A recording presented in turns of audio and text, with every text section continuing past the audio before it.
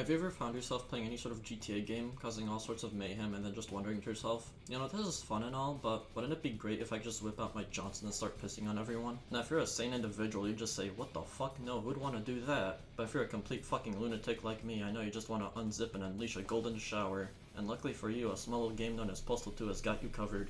Developed by an Arizona-based company known as Running Scissors, Postal 2 is a rather interesting take on open-world criminal sandbox games like the aforementioned GTA. And it's interesting in the sense that it takes aspects of those games like the humor and giving the player the freedom to just tear shit up in an urban environment and crank it to the max. But unlike GTA, Postal 2's story takes a huge backseat, which isn't to say it's a bad thing because even though it's really simple, it's ridiculous enough that it fits in with the game. You basically play as the friendly neighborhood sociopath known as the Postal Dude and you just go around doing his daily errands. Yes, I know it sounds exhilarating, but they do become absurd every day, and it's the way the game sets all of this up that makes something as basic as getting some milk fun. Because you can do all of these chores in whatever order you'd like, and there's about a dozen ways you can approach each of them. Like for example, on Tuesday, one of your tasks is to go to the mall and meet up with the Gary Coleman so you can get a signed copy of his autobiography.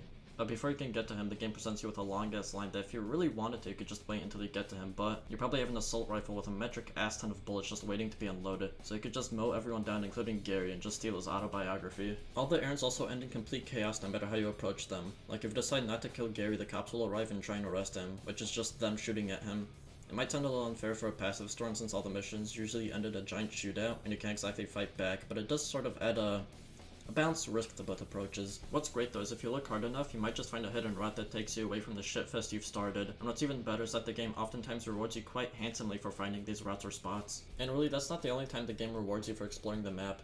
Well, if you go out of your way to break into every house in the neighborhood, you'd probably leave stacked with the bare essentials, plus maybe a few weapons that you weren't supposed to get so early on. Also, pro tip, if you go into a building and there isn't a whole lot, come back to it the next day and there might just be a surprise waiting for you. Item spawns change each day and it makes exploring the map incredibly addicting and something you absolutely have to do if you want to be able to progress smoothly throughout the rest of the game. And honestly, in this day and age of open world games where the maps are enormous with barely any sort of interesting landmarks, it's really nice to visit Postal 2 every so often and enjoy a really small map that's sectioned off with multiple level transitions. But it has like 7 billion different places you could visit that actually serve somewhat of a gameplay purpose, just to stock you up with weapons, armor, healing, etc, etc. However, I will say that the huge lack of ambience or music is very off-putting. Like really the only things you'll be listening to as you're walking through town are the NPCs talking to each other, Postal 2 talking to himself, don't worry, I'll get to him in a bit, and what sounds like an old fucking air conditioner constantly running.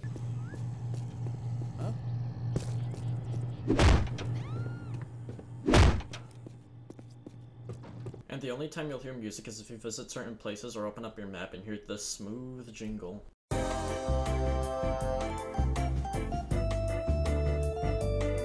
other than that, the lack of ambience makes what is a very cramped town feel kind of barren and empty. Luckily for us though, Postal Dude adds most of the charm to not only the map, but the entirety of the game itself. With almost everything you could do, Postal Dude has a funny quip for it, depending on your taste in humor. The jokes in Postal 2 are usually very low-brow dark humor, very akin to the stuff you'd hear or see on South Park, which I find to be funny. And I think it fits in with his character and the game's overall vibe. However, I get that some people won't really get a kick out of it, which kinda makes it hard for me to recommend it, since the game's humor is almost like its selling point, and if you don't enjoy it, then you'll probably just end up being really annoyed for the majority of your playthrough. Now you're probably thinking that I really enjoy Postal 2, like to the point where I've barely said anything bad about it, and it's been nothing but praises, and well, you're almost correct. As Postal 2 is, it's got some flaws, one of which being the really poor performance on modern machines, and the incredibly dated look of Unreal Engine 2. But another one you might notice as you're taking cutting through lines to a whole new level is the fact that it's taking you around 2 to 3 hits to kill a civilian with a SPAS 12 shotgun. This could partially be because of game balance, since the SPAS 12 is one of the first weapons you get, and ammo for it isn't very hard to come across, but it might also be because the damage system in this game is pretty bad. Once you pick up a gun, you might notice just how underpowered and unsatisfying most of them are. A majority of them lack recoil, which makes a lot of their hits seem so much less impactful, and guns like the machine gun stay almost completely stiff while you're firing it, which just makes it seem like it's shooting rubber pellets. And the shotgun I mentioned earlier, even though it has recoil, it just feels so off. Like I feel like something that looks this fucking bulky should instantly turn a civilian into gibs if I'm close enough to smell their fucking breath, but it's just not the case unless if I have the barrel shoved right into their cranium. And all of this is a real damn shame for a game that lets you be a rampaging psychopath. But if you thought that sounded bad, let me introduce you to Apocalypse Weekend. Hmm, normally I'd expect a fancy cinematic to explain such a crucial story element. The font is nice though. Originally released as an expansion two years after the game's release, which I believe was sold separately and was later included in things like Postal Fudge Pack and Postal X, but do not quote me on that, I'm not entirely sure and I couldn't really get a straight answer from Google. Apocalypse Weekend, as you might have guessed, adds a weekend missions to Postal 2, which sounds fun until you realize the open world is replaced with whatever the fuck this is. Honestly, I wouldn't even consider it a town, and the fun chores you got to do earlier are now replaced with actual mind-numbing chores. You're not washing dishes, no, that'd be too much fun. Instead you're killing 20 zombies, which doesn't sound too bad, but then you have to do the same thing right after, except you're killing 20 zombie cows. And the game almost makes you do it again, except that gets cut out due to. Told you no. What the hell you think this is? Friggin' bullshit. What do you got, Steve? Hold on, hold on. what do Proposal you for got? the pigeon mission. Proposal for the pigeon mission? We, we ain't got no budget for pigeon missions. The fuck are you kidding me? Vince, the kids. Gotta think of the kids. Look at the quality of this video. You want my enough? Hold on, I said. Who? What? Who is this? You, the, get on fucking line. You want money too? You? Fuck you too.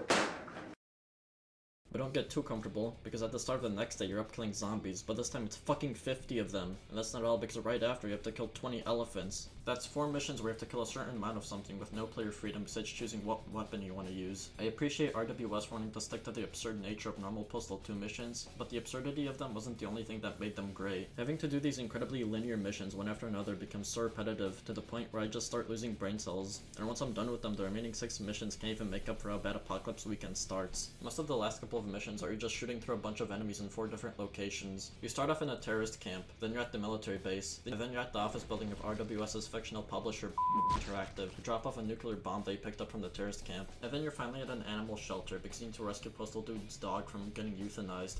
Again, these missions aren't great. You're still doing the same thing for pretty much all of them, and it doesn't help that these missions drag on for so long that by the time you reach the military base, you're most likely going to feel burnt out. Thankfully, the last mission of Apocalypse Weekend is a boss fight where you have to fight Mike J, an actual employee of RWS who got infected with mad cow disease and became a giant demon lord. If normal Postal 2 ended like this, I'd say it'd probably be a perfect game. This boss fight not only nails the absurd nature of the rest of the game, but also doesn't feel nearly as repetitive as the rest of Apocalypse Weekend. It's not even that hard of a boss, but honestly I'll take anything over having to smash a million zombie skulls with a baseball bat. All you have to do is shoot the flying Gary Coleman heads to get rid of his force field, and then start pelting him with bullets or rockets. Rinse and repeat a few more times, and congrats! You've officially beat Postal 2 and you've been given a psychiatric evaluation just to show you how batshit insane you really are. As bad as Postal 2's flaws are, I still highly recommend you go check it out. I'm not going to say Postal 2 is heaps better than any GTA game, because both of these games have their own strengths and weaknesses. But if you're looking for a game where you could just start some mindless havoc and for whatever reason you can't get GTA, Postal 2 is a really good alternative. It really gives you all the right tools and weapons for you to go absolutely ape shit.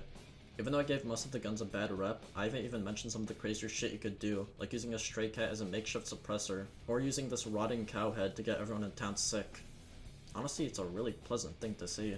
And even though it's a little janky, it's super entertaining just to play through the absurdity of it all. Postal 2 does a really good job of going against what the standard is for games like this. No longer are you playing through an epic cinematic story of the main character going through his or her struggles, and instead you're just doing really simple chores that all seem to stack up to a really convoluted story. Postal 2 doesn't go out of its way to be really immersive and realistic, and instead just goes out of its way to be as politically incorrect, crude, and lowbrow as humanly possible. Combine all of this together and you got something that's completely unmarketable. But Postal 2 don't give a shit, and that's why it's fucking fun.